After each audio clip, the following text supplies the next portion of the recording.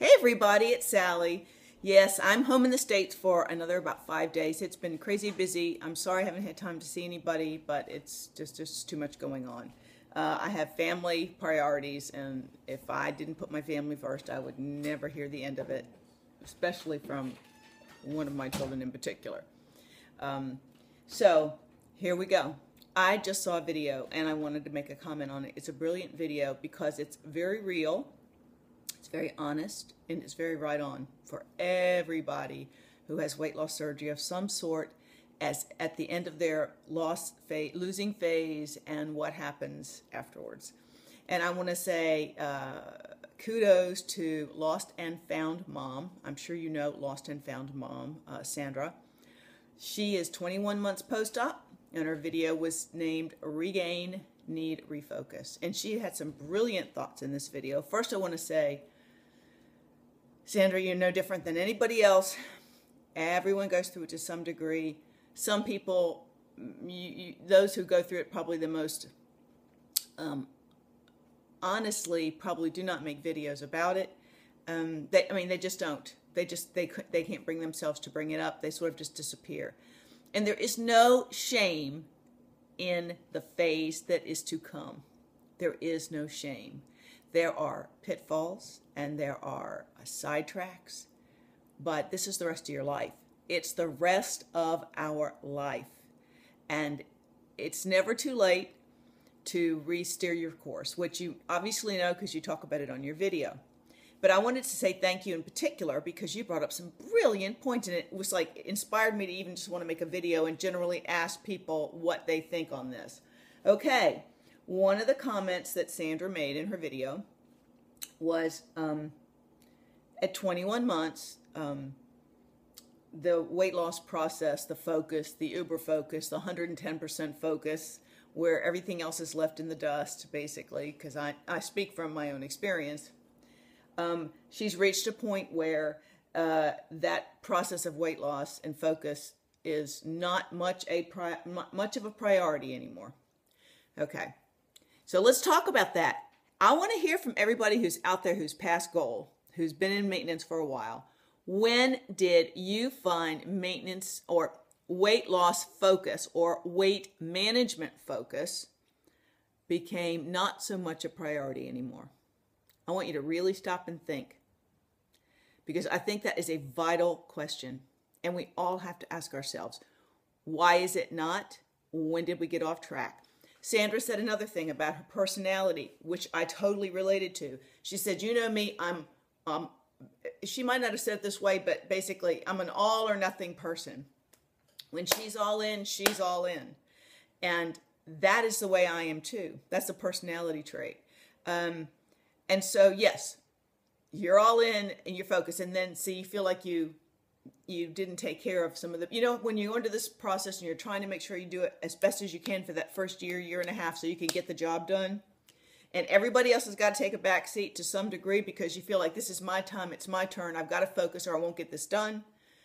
And then you reach that and then those people start to come back and you feel like you know the whole thing of rebalancing and finding um, a good balance of family needs and your personal needs and so sometimes we can swing back to the point where our needs get to be so suppressed again because we don't have the energy and time to focus on our body needs, um, our long-term health needs, that other people's immediate needs become more of a priority and what we need we truly need for ourselves become more of a want. And then you maybe start to feel like that's being selfish again. Oh this goes all the way back to where we first started to lose the weight because we all came from a place where everybody's priorities everybody's stuff was more important than ours which is why we ended up the way we did. Never taking care of number one. So you can't let that all drop when you reach goal. There's still yes you might have to do a little renegotiation but never, ever, ever let yourself go to the point where you don't have, it's not a priority for you or the people who love you, for you to find a more balanced approach to lifelong maintenance living. Um, uh, and it's a hard one. I certainly didn't have it all down. I mean, I did pretty well for those first couple of years. And then we moved, and then foods were different tasting beer at every pub became a priority. Um, the fun stuff became a priority, and uh, and then I had the normative regain. Okay, Sandra, you're having the normative regain. It's so interesting you say you got down to 160, but really that was your lowest moment and you couldn't hold on to that, much like my 128, 129 was a moment, a moment, a breath of a moment in time, not a reality moment. And um uh and it's funny, it's almost like that 128 or that 160.5 was it's like the bragging rights of if you met somebody famous, you would just go, oh, you, you, you know, really, it's it never leaves you. You may not be with that person, but a nanosecond, but you can always say you met so and so and so. Oh, I met 128. Oh, it's so exciting. But you can't stay there. It ain't it ain't reality for most of us. So she's had maybe, really, in reality, 15 pound rebound, which is normative. However, she will admit herself that she had not, um, she her exercise stuff dropped because of some changes in where she was going and it didn't work out as well and she's not had difficulty becoming motivated. Okay, so I'm going to say this about that. Everybody that's in the losing phase, do not eat up to your exercise endeavors because then one day when something happens and you can't get the exercise in and your eating habits are still in the overload, even if it's healthy, whatever, whatever, still, it does have an impact. So for me, that's why I tried to always, I did really hardcore to get there. For me, hardcore, not for hardcore for anybody else. And then I tried to like ease it back, ease it back, ease it back so that the food and the exercise were someplace in balance.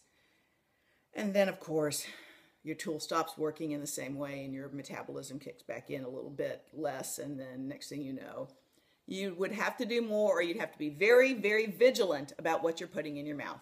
So that's really, that's the reality of maintenance.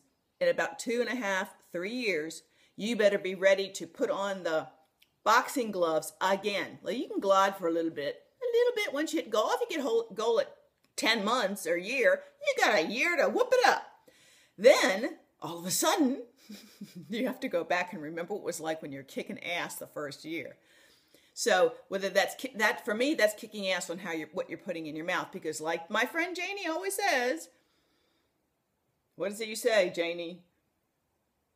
Fitness is at the gym, and weight or weight loss or health or so I don't know something else is in the kitchen. Something we make is in the kitchen. The other thing we make is in the gym. So um, for me, to, for me to, I did a lot of exercise in the last year trying to figure out what was going on. Could I please force my body to do something again? And it didn't matter if I rode 18 miles on that bicycle. I did not lose any weight. My thighs did not get any firmer. Oh well. So only until this last fall when I knew I was coming home did I start to kick back on everything super clean. Ate cabbage soup for like two weeks. You know, that's me. I like cabbage soup. It's vegetables anyway. Not as many lentils. Cut back on the drinking. No wine no bread, no cheese, nothing in anything, just to lose about four pounds. Now, it was not torturous. It wasn't torturous at all. It felt actually very good to know that I could get back control over what I put in my mouth and my cravings. Um, so I just thought I would let everybody know that rebound again is normative, but expect it at about two and a half, two to two and a half years for things to start to like, uh oh, time to, you know, to, um, like I said, put up those boxing gloves again and put on those glasses that help you really see where the slippery slope has become. Okay, I don't want to go on and on about that, but she did say, um, I'm just want to see, I had some notes here, and now I can't see them. So I can't read my handwriting is what the problem is. Yeah, well, if nothing else, I, I highly recommend you guys to go and watch the video. Uh, yeah. And, and to answer my question, if you're in maintenance, when was it that you decided that the that the highest priority of your life, making sure you got to goal or making sure you were uber vigilant about the best health choices for your future life, and when you were on that high, when did that place of priority slip to good times are rolling?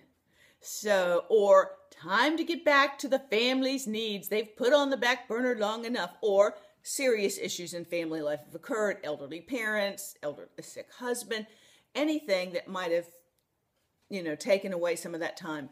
It doesn't mean you can't get back. It doesn't mean you can't get back. Nobody is judging you at all. Nobody's judging you. Live life. But remember, you had the surgery for a reason.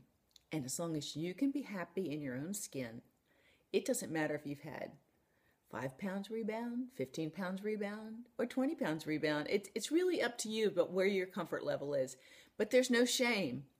It's just about saying, hmm, maybe some of my choices weren't so great. Time to think about it a different way. Time to revisit the original uh, game plan. No shame. No shame. Okay, go watch Sandra and give her some support. Or Sandra, you know, I'm terrible about Sandra and Sandra in the name, the how you say it. Uh, again, she wrote it, she did this December 4th, and it's Lost and Found Mom. I'll see you guys later. And hey, Back to Basics is back on the lineup for those who used to watch the basic Back to Basics channel. Um, and um, I'm the Monday blogger for right now, so join me. And I know for sure Julie Roan Hendricks and Nisi D uh, and uh, Dana and uh, uh, uh, uh, uh, uh Tanya and uh, uh, uh, uh, uh, uh, I can't remember, but there's several. Oh, you know, lots of people are going to be floating in as, as a couple of times a month bloggers. So Janie will be sticking her head in there too.